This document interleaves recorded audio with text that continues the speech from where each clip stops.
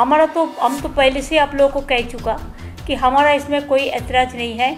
हम चाहते हैं बीजेपी ज़ीरो बन जाए। बहुत बड़ा हीरो बन गया कोई कुछ नहीं करके मीडिया का सपोर्ट में और नैरेटिव बना के, खाली झूठा बात कह के फेक वीडियो बना के, और फेक बात करके, और गुंडा गद्दारी करके, ऐसा नहीं चल सकता है। तो इसी के लिए नीतीश जी सबको साथ बात करेंगे। हम भी बात कर रहे हैं। अगर थीम क्लियर है विजन क्लियर है मिशन क्लियर है तो ये सब बात पे कोई गड़बड़ नहीं होगा। अब बहुत अच्छा है, बहुत पॉजिटिव बात हुई हम अपना ही कहेंगे। बहुत अच्छा बात हुआ है।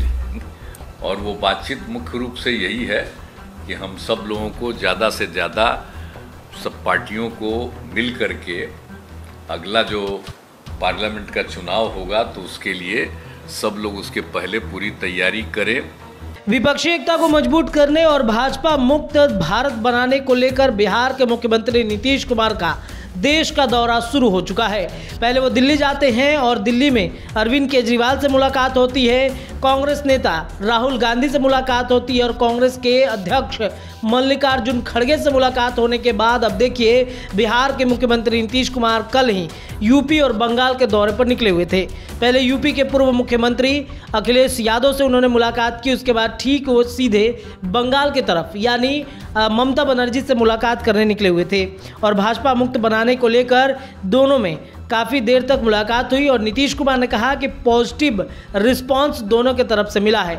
यानी कि अब ये चर्चाएँ चलने लगी है कि बंगाल, बिहार में और यूपी में सपा, टीएमसी के साथ नीतीश कुमार चुनाव लड़ सकते हैं और महागठबंधन भी इसको लेकर के प्रखर रूप से तेज़ी और तैयारी कर रही है। मिशन भाजपा मुक्त भारत सोमवार को कई कदम आगे बढ़ाते दिखे हैं, जब बिहार के मुख्यमंत्री नीतीश कुमार, पश्चिम बंगाल के मुख्यमंत्री ममता बनर्जी और लखनऊ के पूर्व मुख्यमंत्री अखिलेश यादव से मिलने पहुँचे हुए थे। नीतीश कुमार के साथ बिहार के उप मुख्यमंत्री तेजस्वी यादव भी थे। सबने इन तीनों राज्यों में कुल एक सौ बासठ लोकसभा चुनाव पर इकट्ठा होकर भाजपा को हराने की सहमति जताई।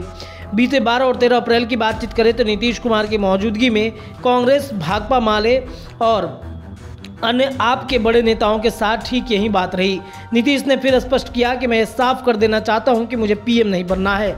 हम लोग जब एकजुट हो जाएँगे तब यह तय होगा कि हमारा नेता कौन होगा।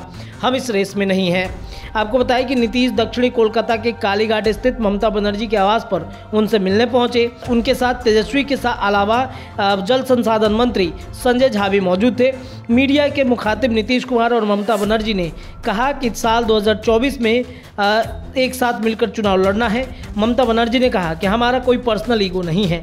नीतीश कुमार ने कहा कि पॉजिटिव रिस्पांस मिला है और उन्होंने कहा कि मुझे खुशी है कि नीतीश कुमार और तेजस्वी यादव एक साथ आए हैं। ममता बनर्जी ने कहा और साथ ही साथ ममता बनर्जी ने कहा कि मैं भाजपा को ज़ीरो पर लाना चाहती हूँ और ये सब कैसे होगा, ये सब हम लोग तय करेंगे।